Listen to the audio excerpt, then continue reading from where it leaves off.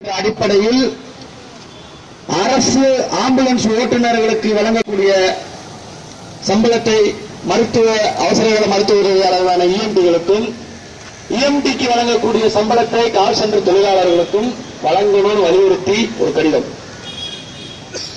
இன்றைய விலைவாசி உயர்வு ஜிஎஸ்டி தினந்தோறும் ஏறும் பெட்ரோல் விலை.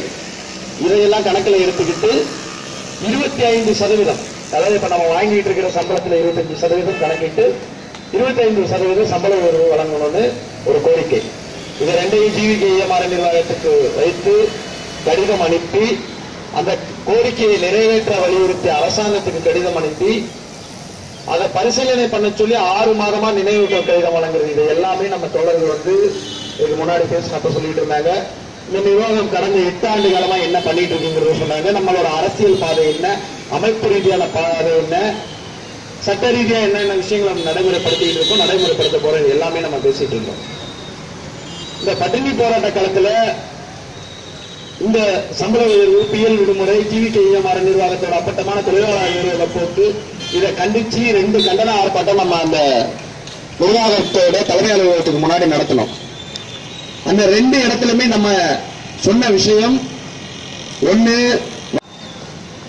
கோரிக்கையை எடுத்துக்கிட்டு கோர்ட்டுக்கு போக மாட்டோம் நோட்டீஸ் அடிச்சு எடுத்துக்கிட்டு உன் பொண்டாட்டி பிள்ளைகிட்டையும் உன் குழந்தைங்க படிக்கிற பள்ளிக்கூடத்துக்கு உன் பிள்ளைங்க இருக்கிற இடத்துக்கு தேடி போய் ஒன்ன நாங்க அம்பலப்படுத்தும் நீ போட்டிருக்க துணி நீ சாப்பிடுற சாப்பாடு நீ தங்கியிருக்கிற வீடு இது எதுவுமே உன் புருஷனோட சம்பாத்தியம் இல்ல.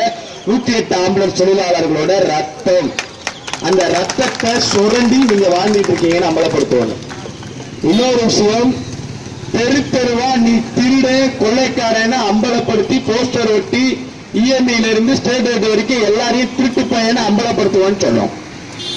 அந்த விஷயத்தை நூறு சதவீதம் தெளிவா நடத்தேறி காட்டிய காஞ்சிபுரம் தோழர்களுக்கு அனைத்து தோழர்களும் பலமான கரகோஷத்தை எழுப்பி நம்மளோட புரட்சிகர ஆதரவு அவங்களுக்கு தெரியப்படுத்தணும்னு கேட்டுக்கிறோம் செல்வமணி போட்டோவை ஒட்டி பிஎல் பணத்தை தொழிலாளர்களோட பிஎல் பணத்தை திருடுறதுக்கு அடிப்படை காரணமான முதல் அக்யூஸ்ட் ஏ ஒன் கொள்ளைக்காரன் திருடன். நீதான் அப்படிங்கிறத காஞ்சிபுரம் முழுக்க தொழிலாளர்கள் அம்பலப்படுத்தினாங்க.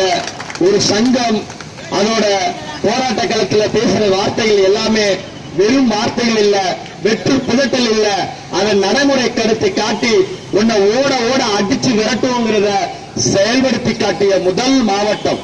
நம்மளோட அந்த அறைக்கூல நடைமுறைப்படுத்தின அந்த மாவட்டத்துக்கு புரட்சிகர வணக்கங்களை சொல்லிக்கிட்டு இந்த பட்டினி போராட்டத்தோட கண்டன உரைய ஆரம்பிக்கிற இரண்டாயிரத்தி ரெண்டாயிரத்தி எட்டுல சேவை ஆரம்பிக்கப்பட்டு இந்த சேவை நடைமுறைப்படுத்துறதுக்கு இருக்கக்கூடிய சிக்கல் அதோட பிரச்சனை இதுல வேலை பார்க்கக்கூடிய தொழிலாளர்கள் பிரச்சனைன்னு தொடர்ந்து நம்ம சங்கம் ஆரம்பிக்கிறதுக்கு முன்னாடி ஜேபி சொன்ன மாதிரி பல்வேறு தொழிலாளர்கள் வேலையை இழந்து அம்பலப்படுத்திட்டு இருக்காங்க. இந்த எட்டு வருஷமா அம்பலப்படுத்துற வேலையை செஞ்சுக்கிட்டே இருக்கிறோம். ஆனா அரசாங்கமும் நிர்வாகமும் அதை கவனத்தில் எடுத்துக்கிறதா இல்ல. அதற்கு நமக்கு கெடுதல் செய்யறதா நினைச்சு ஒவ்வொரு முறையும் நமக்கு பதிலடி கொடுக்கறதா நினைச்சு எதையாவது ஒண்ணு செய்வான் அதை நமக்கு சாதகமா மாத்திக்கிட்டு தான் இருக்கும். இன்னும் தற்காப்பு விஷயத்துல தான் இருக்கும். முழுமையா எதிர்த்து ஜீவிக்க இயமாற நிர்வாகத்தோட சண்டை போடுற வேலையை ச- நம்ம முழுமையா செஞ்சு முடிக்கல. ஆனா அதற்கான வியூகத்தை வகுத்துட்டோம். அதற்கான செயல்பாடுகள்ல இறங்கிட்டோம். அது ஜிலிக்க இயமாற நிர்வாகத்தை சுத்தி வளர்ச்சி அடிச்சு துவைச்சு தூக்கி எறிகிறதுக்கான தருணத்தை நெருங்கிட்டோம். குறுகிய காலமே இருக்கு. அதற்கான ஆயத்த பணிகள்ல தொழிற்சங்கத்தோட உறுப்பினர்கள் இருக்கக்கூடிய ஒவ்வொரு தொழிலாளியும் தன்னோட நூறு சதவீத பங்களிப்பை செலுத்தணும். அந்த பங்களிப்பை செலுத்துறதுக்கு நாங்க தயாரா இருக்கோம். அப்படிங்கிறத அரசாங்கத்துக்கும் பொதுமக்களுக்கும் ஜீவிக்கையமாற நிர்வாகத்துக்கும் வெளிப்படுத்துறதுக்கு தான் இரண்டாவது கட்ட பட்டினி போராட்டமா? மண்டல அளவுல நம்ம முன்னெடுத்திருக்கோம். அதுல முதல் கட்ட கட்ட பட்டினி போராட்டம் வெற்றிகரமா நடத்தணும். நம்ம அலுவலகத்துக்கு முன்னாடி அணிதிரண்டு நம்ம போராட்டம் நடத்திருந்தா நமக்குள்ள பேசிட்டு இருந்திருப்போம் நம்ம தொழிலாளர்களை உட்காருங்க எந்திரிச்சு போகாதீங்க. ஒரு இடத்துல உட்காருங்க போராட்டம் இப்படி இருக்கணும் அப்படி இருக்கணும்னு நமக்குள்ள பேசிட்டு இருந்திருப்போமே தவிர போராட்டத்தோட நோக்கம் நூறு சதவீதம் தெளிவா சென்றடைஞ்சிருக்காரு ஆனால் நிர்வாகம் வழக்கம் போல காவல்துறைக்கு புகார் கொடுத்து நம்மளை டிஎம்எஸ் கேம்பஸ் விட்டு வெளியேற்றி நம்மளோட போராட்டத்தை உலகறிய சரியான முறையில கொண்டு சேர்த்தான். இரண்டாவது கட்டமா தர்மபுரியில இன்னைக்கு இந்த போராட்டத்துக்கான எதிர்ப்பை செய்ய வச்சு தர்மபுரியில மண்டல அளவில் நடந்திருந்தா பன்னெண்டு மாவட்டம் கலந்துகிட்டு இருந்திருப்பாங்க. தர்மபுரி போராட்டம் மாநில அளவிலான போராட்டமா இருக்க போகுதுங்கிறத நிர்வாகம் நமக்கு வழிவகை ஏற்படுத்தி கொடுத்திருக்கான். நூத்தி எட்டு ஆம்புலன்ஸ் தொழிலாளர் சங்கம் செயல்படுற மாதிரி நமது சங்கமும் செயல்படணும்னு டாக்டோ ஜியோவோட மாவட்ட அளவிலான மண்டல அளவிலான கூட்டங்கள் நடைமுறைப்படுத்துறப்ப பேசப்படுது. டிரான்ஸ்போர்ட் கார்பரேஷன் தொழிற்சங்கத்தில் பேசப்படுது மற்ற தொழிற்சங்கத்தில் பேசப்படுது.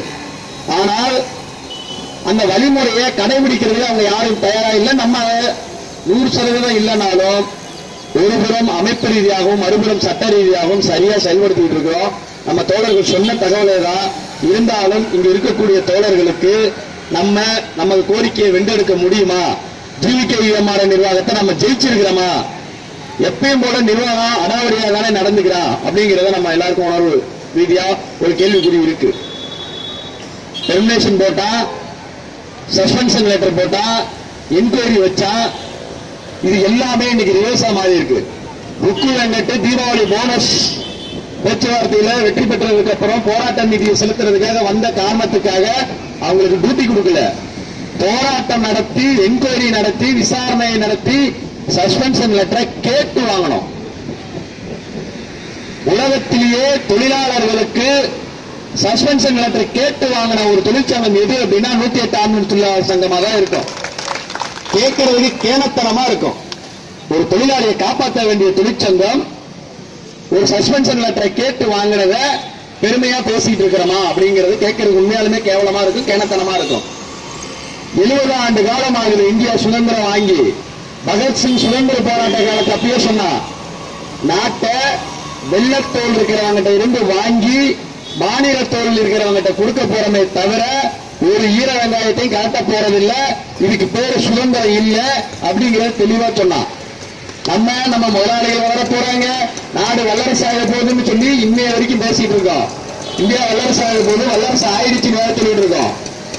மோடி வந்துட்டாரு. நாடு வல்லரசு ஆயிடுச்சு. அடுத்தது வந்து இனிமே வந்து மக்களாட்சின்னு ஓட்டு போடுற முறையெல்லாம் தேவையில்லை. அடுத்தது என்ன நடக்க போகுதுன்னா அதிபராட்சி தான்.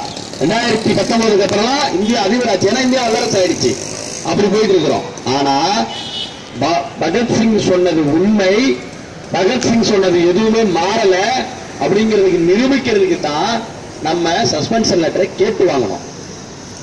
ஏன்னா நாடு நம்ம நினைக்கிற மாதிரி தோழர் சொன்ன மாதிரி தேனாறு பாரா- பாலாறு ஓடுற மாதிரியோ இங்க மக்களாட்சியில வந்து சுழிச்சமாவோ இல்ல. இந்தியா